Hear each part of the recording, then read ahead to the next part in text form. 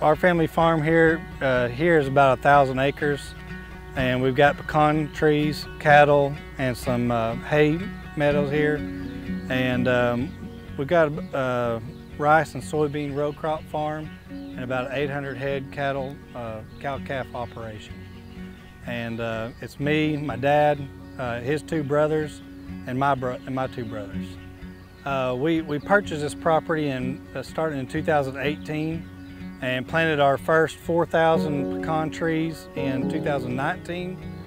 Uh, of course, installed the irrigation here, planted Bermuda grass between the, the trees, and uh, 2020 we planted an additional 2,000 trees.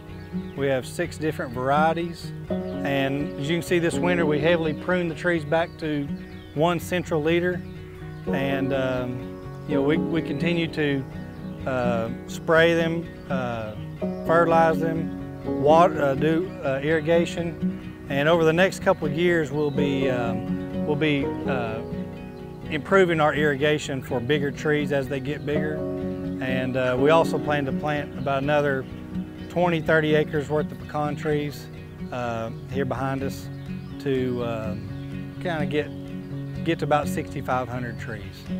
And um, then after that, I guess we'll, we'll wait till year seven or eight when it's time to start harvesting trees and, and learn from there.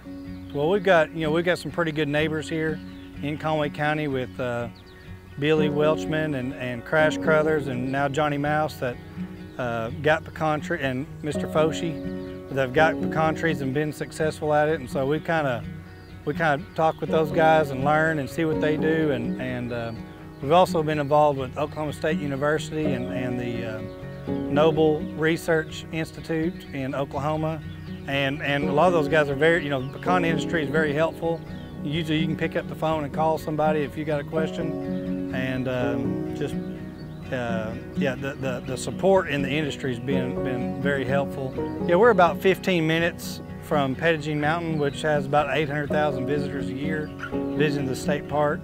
And uh, you know, my wife's a elementary school teacher, and we've got two young kids, and, and they like learning about it. And, and so we've kind of you know talked about the agritourism aspect of the pecan farm for uh, people to come out and enjoy the farm and, and kind of see what we got going on and, and let people learn more about agriculture. It definitely, the uh, pecan farm is a long-term investment. You know, it's seven or eight years until you see your first pecan and uh, I'm 35, you know, I've got an eight-year-old and a four-year-old. So uh, this is definitely something, hopefully, that they will keep going. And, and uh, it is a long term, you know, pecan trees. I don't know what, when, they, when they quit producing, but I know they start about, you know, year eight, seven or eight, and they go on till probably 40, 50, 60 years.